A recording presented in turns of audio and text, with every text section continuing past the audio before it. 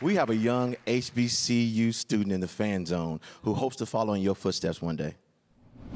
Urban One Honors is all about black excellence. And the Urban One Honors Fan Zone, sponsored by McCormick, celebrates HBCUs across the country. Welcome to the Fan Zone. Hello, I'm Kennedy Avery, and I'm a double music major representing Clark Atlanta University, concentrating on studio production and piano studies.